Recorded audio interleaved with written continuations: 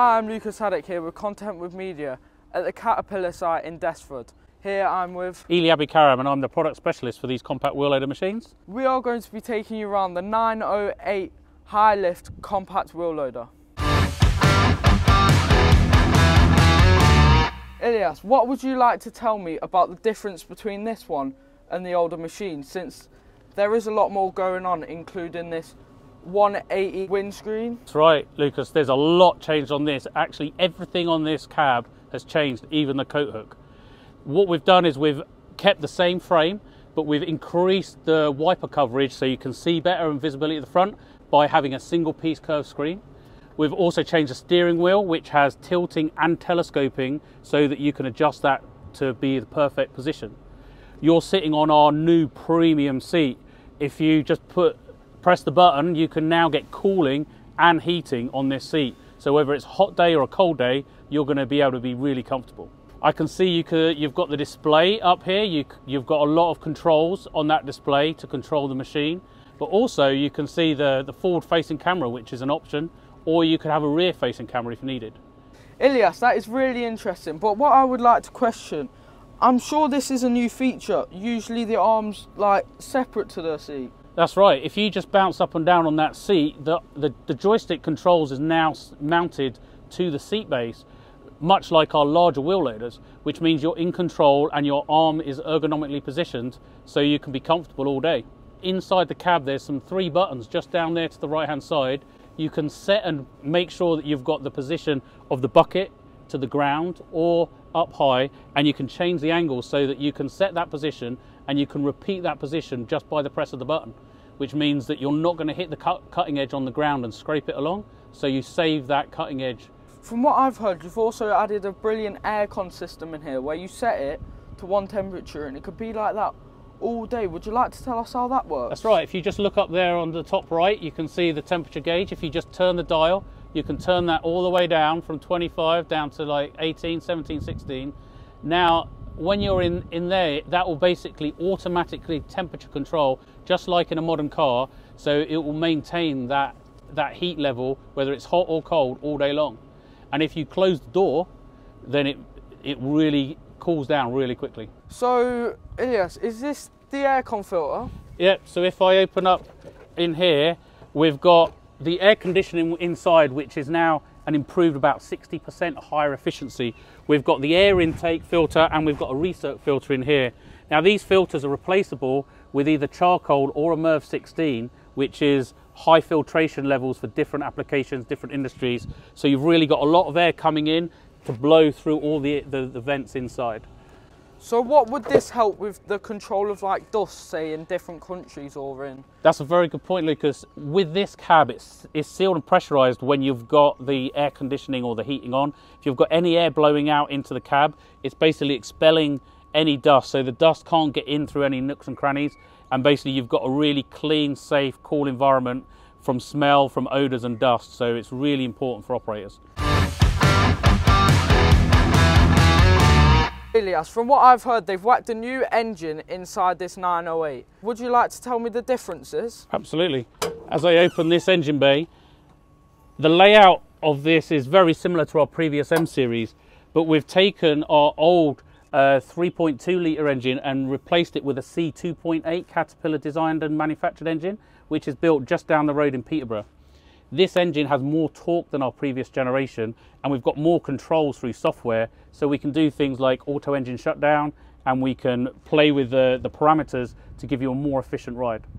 Is there anything more efficient about this engine compared to the last model? That's a very good question. With the, the exiting of red diesel and now having to use white diesel off a forecourt, fuel prices have definitely gone up for operators.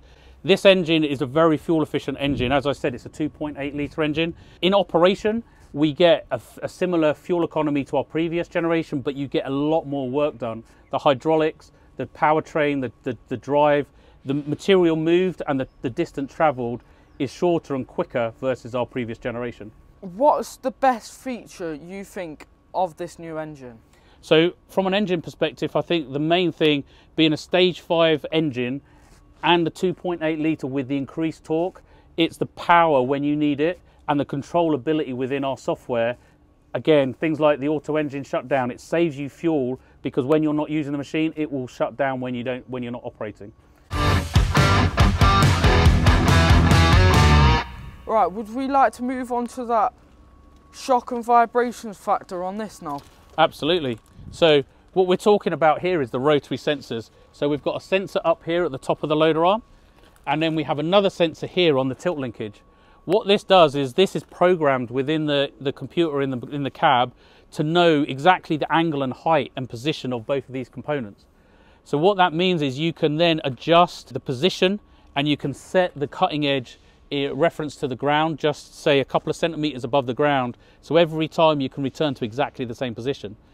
This is something that's an exclusive in this size of loader. Our larger wheel loaders have had this for a while. This is a first in this size class, which gives us that benefit and, op and operation efficiency.